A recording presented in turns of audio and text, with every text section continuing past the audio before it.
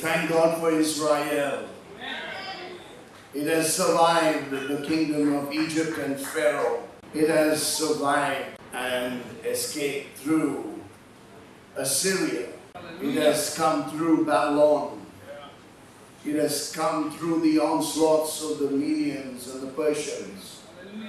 It's come through the Greek Empire. It's come through the Roman Empire. It's come through Hitler and the Holocaust. It has come through anti Semitism and anti Israelism of the modern era. And it will come through the Antichrist and the revised Rome. Israel is forever. Amen. Hallelujah. I'm excited. I'm excited. Amen. God is so good. And today is Mother's Day. Well, the hand that rocks the cradle rules the world. Hallelujah. One amen. Kunal. You really honor your mother, Linda. Hallelujah. Hallelujah. Could we say an amen? Amen. You don't have your father's tongue, you have your mother's tongue. the father is the head of the family, but you have your mother's tongue. But only when you come to Father God, you get the Father's tongue. Yes. Hallelujah. Everyone's got the Father's tongue? Hallelujah. Great if you speak your mother tongue. But you, it's important to have the Father's tongue. Because the Father's tongue is for eternity. Everything will cease. Hallelujah. But love will remain. Father, we truly want to thank you for your holy word. We pray that your word would speak to our hearts, that Rhema would come forth, bringing faith into us. And we would be praying the Spirit and building up our most holy faith. We thank you by bringing the Spirit, our faith will be nourished and watered. And we will move on from faith to faith, strength to strength, victory to victory, glory to glory, grace to grace.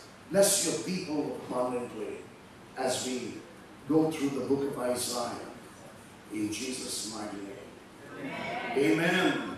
For a quick recap of the Song of Solomon. All know about his wives and his concubines and the Shulamite women, woman who was altogether 700, 301. So it becomes 1001. But he wrote 1005 songs. I think better than any songwriter, better than Paul McCartney and George Harrison. It's no comparison whatsoever. Because those, some of those were under drug abuse and abused and demonic. But thank God for these songs of Solomon. But the Song of Songs, the best song, was the Song of Solomon. It's recorded in the Bible. Hallelujah. Praise the Lord. It's a love song. It's talking about the lover and the bridegroom. Solomon means peace, shalom. Amen. And Shulamite too means peace. They were a made for each other couple. Historically, we see it depicts God and Israel. God is the husband and Israel is his wife.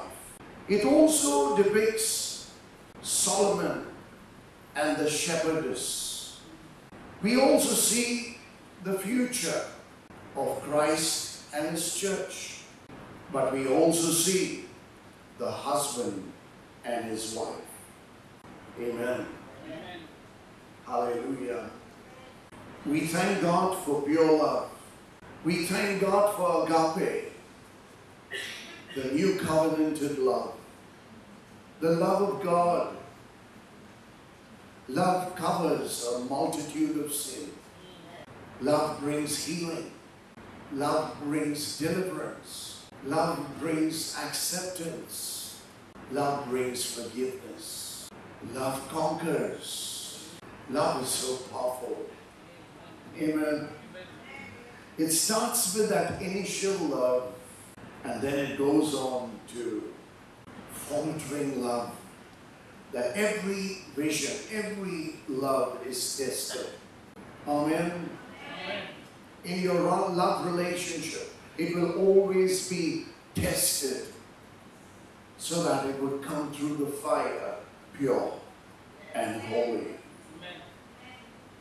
The faltering love, it will become steadfast. It will grow and it will glow and it will flow. It will mature and turn into perfect love.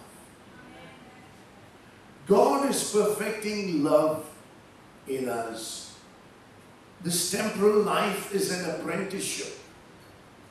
We are learning to love.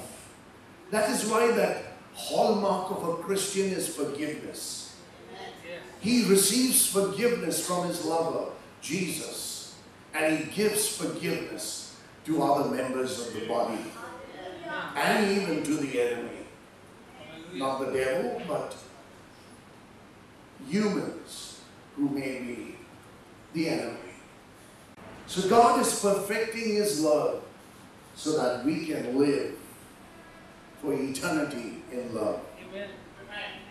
In Christ, in love. For all the gifts will cease. The gifts are to equip us, including tongues. To equip us for eternity. The golden chapter of love, 1 Corinthians 13. All gifts will cease, everything will cease. But what will abide is faith, hope, and charity. Faith, hope, and love. Hallelujah. Hallelujah. What are charitable institutions for? It's all come from the Word of God. If you do charity, it means you're, you're expressing love. You're demonstrating love. But today, the wicked one is coming against Christian trust who demonstrate love. They've forgotten the very foundation and the reason and purpose for a social action, charitable trust. The trust is none other than the Holy Spirit of Jesus. Hallelujah. Hallelujah. They want to cut the lifelines. And how do you expect us to move forward upward? So we will stand strong and continue steadfast in our faith for the Lord. Be burning with the love passion for God. Love zeal ablaze. In my early Christian life, I read a tract by Leonard Ravenhill and I would give out those beautiful tracts it says love, zeal, ablaze for the Lord. You have to have love. You have to have the zeal of the Lord, and it should be on fire. As if it's the last day you are going to live. Give out the gospel. So your passion for God must be on fire. Love God with all your heart, with all your mind, with all your emotions, with all your will, with all your strength, and have fiery compassion towards the lost souls. Many years ago, I wrote an article for the Vision magazine, and I wrote an article on worship. There I put, God gave me the statement, passion for God, compassion for the lost. And Pastor Joseph just loved it that statement and he put it as a punchline in his church. That's a wonderful romantic love relationship. We're going to Kerala. It's a stronghold of Pentecostals. And they, I'm not talking about Joel, but they don't want gold ornaments and this thing, that thing. But Solomon tells me that the bridegroom wears ornaments and the bride wears jewels. We have misinterpreted what Peter says when he says, talks about the outward and he talks about the inward beauty. He doesn't say, do not adorn yourself on the outside. But adorning yourself on the outside is zero if you are not beautiful on the inside. Stay beautiful on the inside and let it overflow on the outside, but not as a distraction. Hallelujah.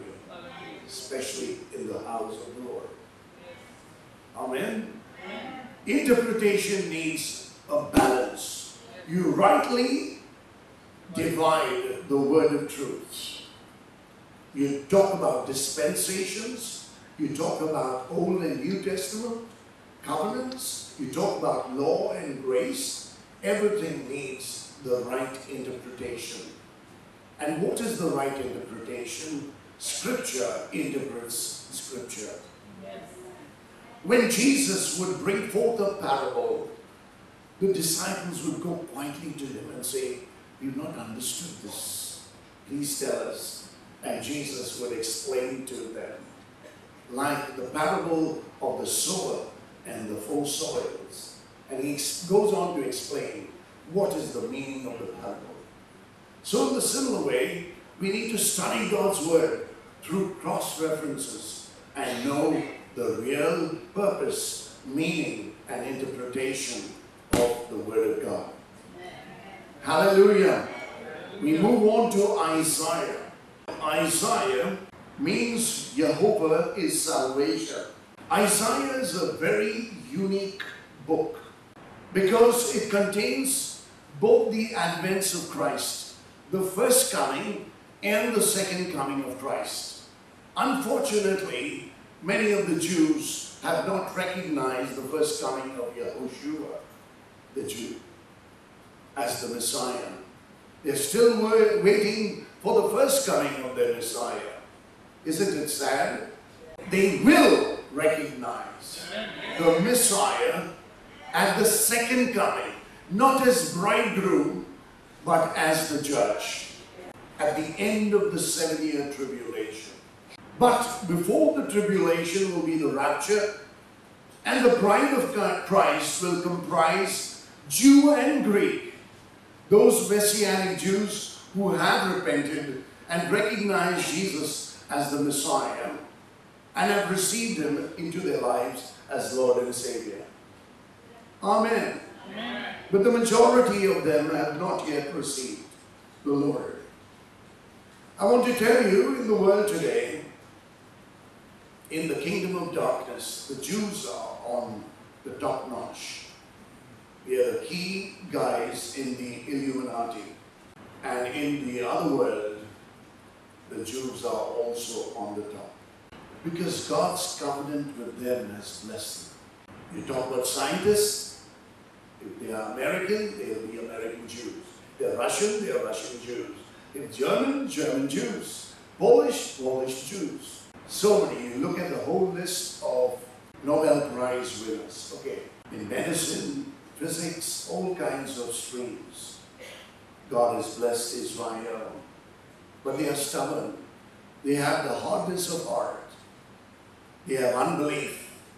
And we have to pray for them. Hallelujah. We are talking about the suffering servant. Christ is the suffering servant in the book of Isaiah. What I wrote here is the suffering servant learns obedience to God, followed by Adonai's blessings. Obedience will always bring blessings into your life. But if you do not obey, sufferings will teach you to obey. Have I made myself clear? If the Son of God learned obedience in the things that he suffered, how much more you and I? God allows sufferings in Christians.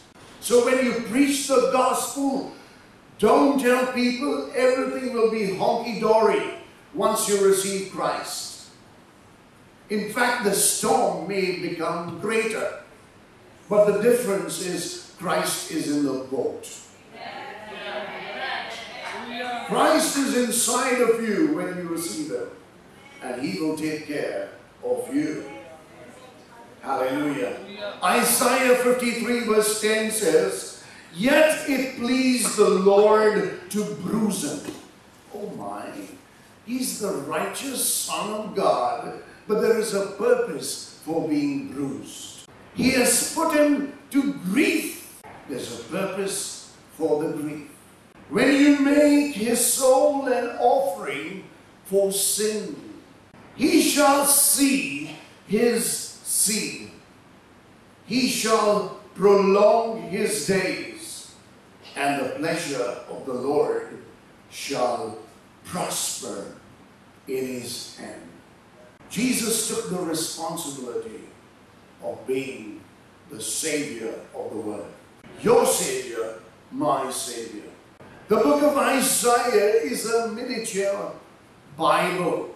It's a mini Bible. How many chapters does the Bible have, church? 66 full marks. A big hand to you. Wonderful. Wonderful. How many books does the Bible have? 66 books. And how many books does the Old Testament have? 39. Pit pat. Amen. And New Testament? 27.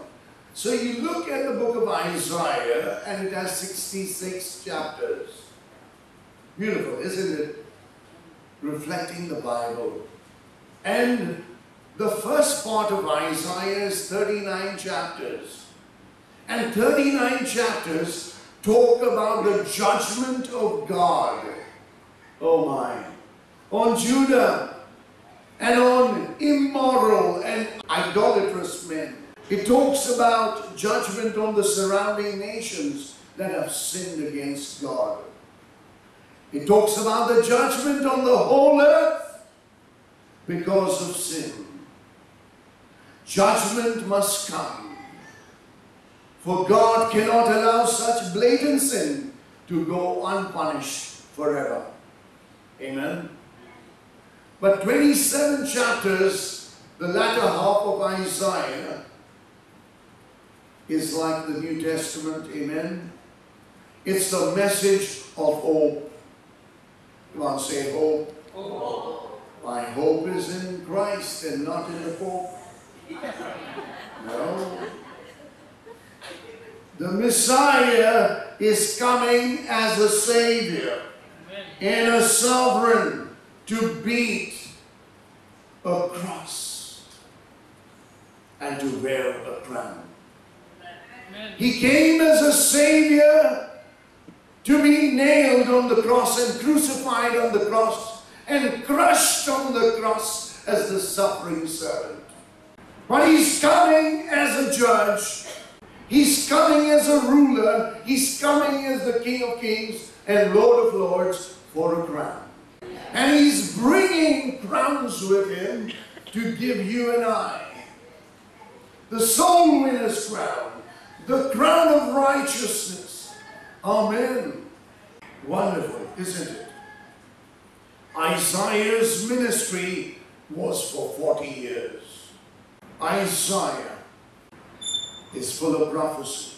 The Old Testament has 300 prophecies of the coming Messiah, and Isaiah has a great number of them among the 300. There are five aspects of the saving work of Christ mentioned in the book of Isaiah. The first one is his wholehearted sacrifice. It's firstly the burnt offering. When you give yourself wholly to the Lord, it's a burnt offering unto the Lord. And Jesus fulfilled all burnt offerings of the Old Testament. Hallelujah. Could we read it? Chapter 52, verses 13 to 15. Let's look at some of these verses. Very good. Behold, my servant shall deal prudently. He shall be exalted and extolled, and be very high. Just as many were astonished at you, So his visage was marred, his face was marred, more than any man, and his form more than the sons of men. So shall he sprinkle many nations. Kings shall shut them out at him, for what had not been told them they shall see, and what they had not heard they shall consider. Hallelujah. This is the Messiah's atonement, verses 13 to 15 of chapter 52. The second aspect is his perfect character, which is a meal offering. He fulfilled all the meal offerings because his character was perfect. Sinless man, Jesus, Yahushua. Chapter 53, verses 1 to 3. Who has believed our report? We talk about reputation. And to whom has the arm of the Lord been revealed? For he shall grow up before him as a tender plant, and as a root out of dry ground. He has no form or comeliness, and when we see him, there is no beauty that we should desire him. He is despised and rejected by men, a man of sorrows and acquainted with grief. And we hid, as it were, our faces from him.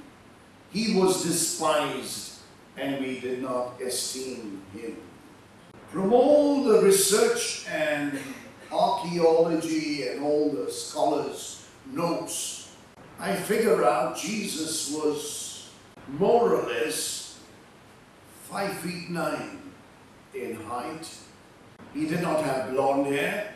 He had raven-like hair, black hair. He was a Middle Easterner as man. I believe he did not have blue eyes. He had brown eyes. He was not fat. He was not thin. He was just right. He was not fair. He was not dark, I believe. He had wheatish complexion. Now you know more or less how Jesus looked? Hello? That's his image. May not have looked great, not so handsome, but he was the Lamb of God. And we have to behold him, look and listen to him. The King of Kings, Lord of Lords, born amongst animals, in the manger, in the feeding trough. Very symbolic, very appropriate, very ironic. He is the bread of life that feeds the world. He was born in a manger, in a feeding trough, to feed animals. Any man without the Holy Spirit is a beast, to be honest. Sinful man is fallen. He's like a beast. But God lifts him up to restore the image and likeness of God in him. Hallelujah. So be filled with the Holy Spirit. And when you have the initial earnest payment, down payment that the Lord has given by giving us the Holy Spirit, and we are born again, it doesn't mean that every day I have to fill myself because I have less of the Holy Spirit and the incomplete Holy Spirit. God is Spirit. Our God is Elohim, the plurality, singular God. Father, Son, Holy Spirit, but yet oneness and one. One God. Hallelujah. We have to glorify our God. Amen. Amen. Praise the Lord. Praise the Lord. Now, He is perfect in character.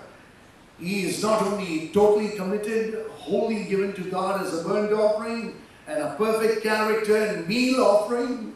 Those five offerings, right, in the Old Testament, it's fulfilled. We see thirdly, he brought atonement that issues in peace with God. So it's a peace offering. He's become a peace offering chapter 53, verses 4 to 6. Chapter 53, verses 4 to 6. Surely he has borne our griefs and carried our sorrows. Yet we esteemed him stricken, smitten by God and afflicted. But he was wounded for our transgressions. Amen. He was bruised for our iniquities. So you're getting the reason why he was bruised, why he was wounded, for our transgressions, for our iniquities. The chastisement for our peace was upon him. And by his stripes we are healed. Amen. Hallelujah. Verse 6 And we like sheep have gone astray. We have turned every one to his own way. And the Lord has laid on him the iniquity of us all. Amen. Wow. What a deliverance we got. And to have peace with God. Amen. Hallelujah. Number four, he paid for the transgression of the people in the sin offering. So he was made a sin offering as well. Isaiah 53 verses 7 to 9. He was oppressed and he was afflicted, yet he opened not his mouth.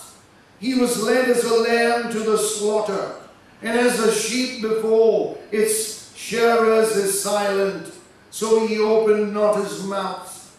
He was taken from prison and from judgment, and who will declare his generation? For he was cut off from the land of the living.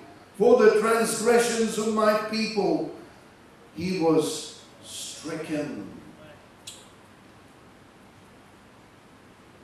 Verse 9 And they made his grave with the wicked, but with the rich at his death, because he had done no violence, nor was any deceit in his mouth. Hallelujah. Number five, he died for the effects of sin. For the effects of sin. There are consequences of sin. Sin wounds, sin bruises, sin breaks, sin mauls, sin plays havoc in any life. Trespass offering. We were trespassers. You see big boards put near properties. Trespassers will be prosecuted. We have overstepped the boundary of the Lord. We have stepped into the property of sin. And so, we will be prosecuted. We are prosecuted and put to death, to hell. But Jesus, your Savior and my Savior, paid the price. He's the judge, He's the advocate, His Holy Spirit is the jury. But in the courtroom, He's the one who pays the bill. He pays the price and he sets you free. Amen. Not with gold and silver, but with his very own blood. Amen. For there is life in the blood. And life comes from his blood. Because all our blood has death. The blood of bulls and animals and birds only cover and they only covered the sins of the people. But the blood of Yahushua cleanses us from all sin. That covering was only temporal until fulfilled in Yahushua. And all the five offerings have been fulfilled. The burnt offering, the meal offering, the peace offering, the sin offering, and the trespass offering. Amen. Give yourselves wholly to the Lord. Don't put one leg in Christianity and the other leg somewhere else. Don't even put one leg in one church and the other leg in another church. You will tear apart. No, Pastor, all are the same. We serve the same God. No, you have to be committed to the family you are planted in. Make up your mind. You don't, after work, you don't go to your neighbor's house and sleep there. You go back to your family. That doesn't mean you are at enmity with your neighbor. You will also give them cake. You will also give them biryani. But you go back to your home.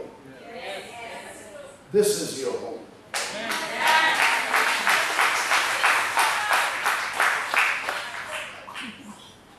A preacher comes into town, come on my YouTube, this tube, that tube, and people often go down the tube.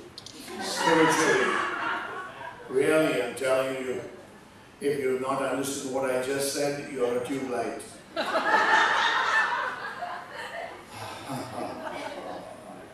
what I'm trying to tell you, be committed to Christ and to the local church. Yes.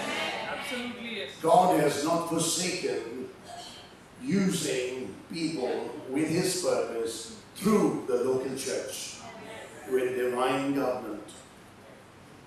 In a home, in a family, there is daddy, mommy, and the children, and maybe the maids, whatever.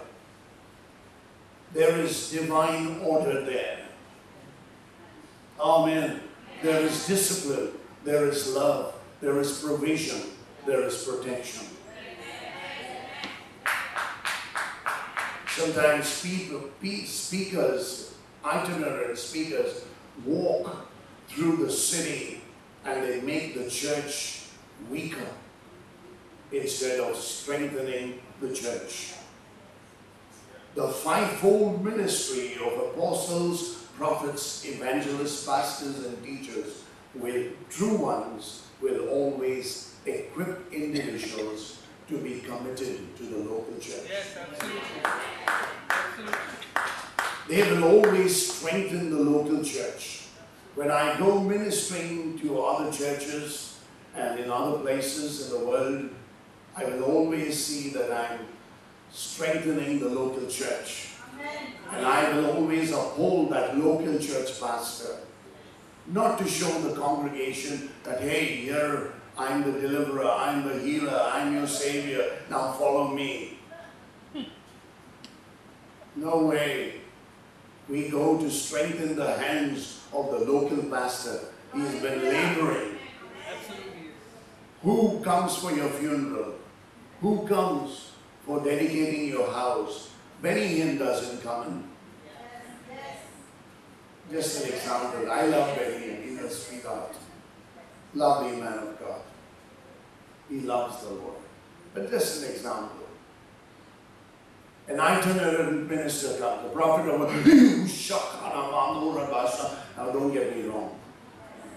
And gives you personal prophe- prophecies and you're tickled about it. Come on, that personal prophecy was the same thing what the word of God is saying.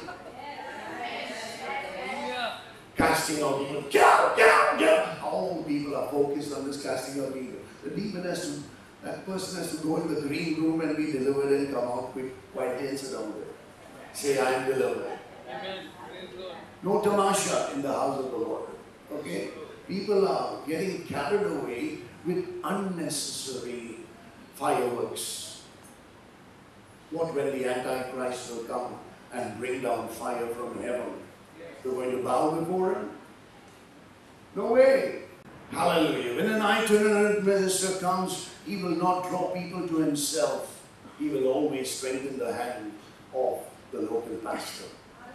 Otherwise, he will run amok like a like a bull in a china shop and leave the mess and walk out, and the poor pastor has to clean up all the mess. Come on. You hear what I'm saying? Yes. You hear what I'm talking about? Yes. Do you know what church is all about? Yes. It's not about religion. It's about relationships. Yes. It's about a base. It's about a family. Absolutely. Come on, church. Wake up. Amen. Be mature. Be perfect as your heavenly Father is perfect. Amen. Have the pure milk of God's word. Hallelujah. Have the meat of God's word, the food of God's word, unadulterated. Don't just go on YouTube and pick up any preacher here and there and everywhere. You will be confused. Yes. How long you want to see people delivered? How long you want to see people healed? Why don't you do it? Only all our lives we are spectators, spectators. Have you heard that miracle? Oh, you should have been there. Wow. But when did you last pray for someone and someone got healed? Come on, grow up. Grow up. Grow up, church. I thank God for our church. You are matured. But I'm sharing this with you so you can teach other people. Each one reach one, each one teach one, each one reach one, each one reach one. You know what I mean? Hallelujah. Hallelujah. We see the Messiah was born through the Virgin, a virgin girl. Hallelujah. For unto us a child is born. That is Jesus, the Son of Man. Unto us a son is given. He always was a son. Yes. Hallelujah. Not born a son. He was the eternal Son of God. He is the eternal Son of God. And he will always be the eternal Son of God. But only the difference when he was born, God became man. And he is a God man. A God man is on the throne. He's 100% God and 100% man. When he left his glory in heaven, emptying himself, he did not empty himself as God. He was still God. Get that theology right. He was still God and he became 100% man. Then, then you say, hey, he was God, so he could do things and I cannot do things. No, no, no. He withheld his privileges as God. But yet he could forgive. Yet he could raise the dead. Hallelujah. Hallelujah. In other words, whatever he did, we need to do. Amen. He gives you the anointing, the grace to do it. Hallelujah. Hallelujah. Emmanuel, God with us. Isaiah 7:14. Messiah would be God and man. Hallelujah. The Son of God became the Son of Man in order to make the sons of men the sons of God. The whole creation is moaning and groaning and waiting to see the manifestation of the sons of God. He came with a sevenfold spirit of what Isaiah 11 1 and 2 talks about the spirit of the fear of the Lord, the spirit of wisdom, and the spirit of understanding, the spirit of counsel and might, of knowledge, and the fear of the Lord again. Hallelujah. Amen. Amen. Just like the menorah, seven, sevenfold spirit, but yet one spirit. One spirit, but the sevenfold. It will be before the throne of God. Hallelujah. Hallelujah. He rules by the sevenfold spirit. Hallelujah. Hallelujah. He came to heal the blind, the lame, and the deaf.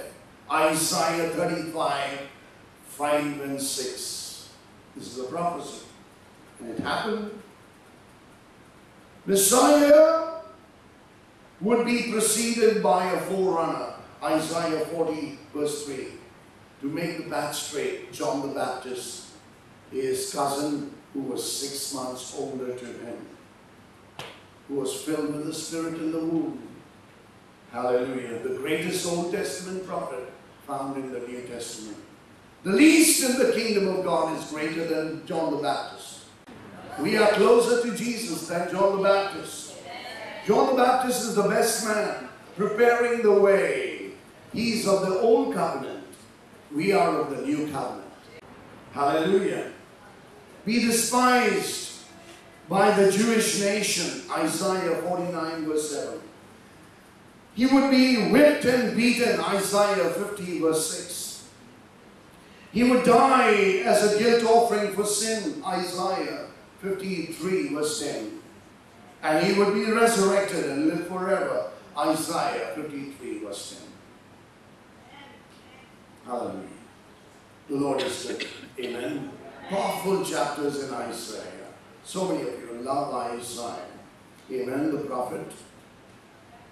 All beautiful prophecies.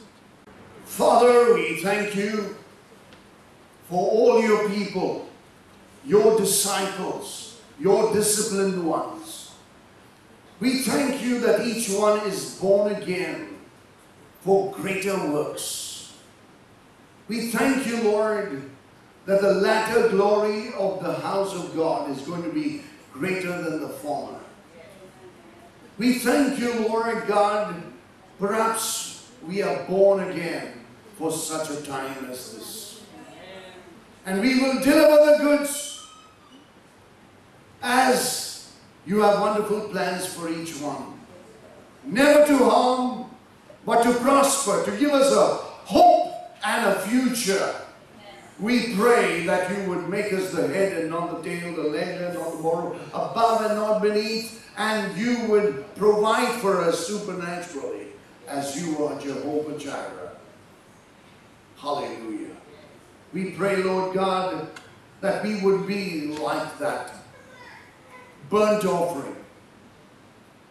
We would surrender ourselves afresh this morning.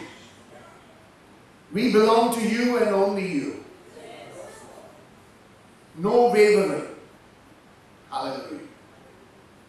We want to be a people of character.